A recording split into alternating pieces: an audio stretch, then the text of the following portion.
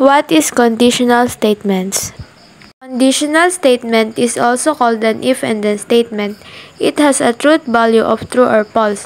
A conditional statement to be true shows that when hypothesis is true, the conclusion is also true. While to be false, you need to have a encounter where hypothesis is true but the conclusion is false. Hey there, math enthusiasts! Welcome to the spectacular sunset adventure. But guess what? Today, amidst the stunning view, we're diving deep into the intriguing world of conditional statements. Imagine this, you're with your friends and someone says, if the sunset, then we'll have a picnic. Boom, that's a conditional statement right there, blending the natures and mathematical ideas. Let's break it down mathematically, folks. The if part or the hypothesis here is the sunsets, and the conclusion here is we'll have a picnic. It's like nature speaking in math code. Now, watch closely as we journey through the different phases of this statement.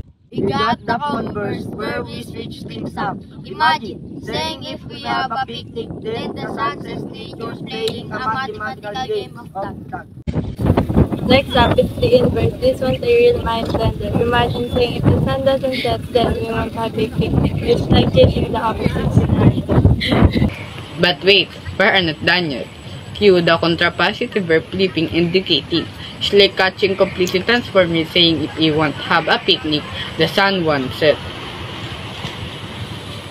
See, understanding this variation isn't just about math. It's about appreciating the different perspectives. It's like watching the sunset from the various angles. Remember, box conditional statements aren't just formulas. They're about reasoning, decision making, and exploring possibilities, even when chasing sunsets. So, whether you're basking in the sunset's glow or decoding life's mysteries,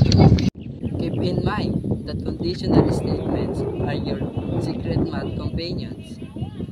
That's all for today's math adventure. Please don't forget to like, share, and subscribe to Larry Azaria's YouTube channel. go. Ha! Yung bata! all right.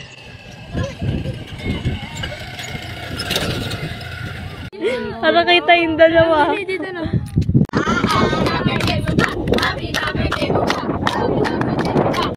word of conditional statement. Ba't ka naalam? Pag-itay mo na ta! 1, 2, 3, ka. Ibang tao. Ibang tao. Ibang tao.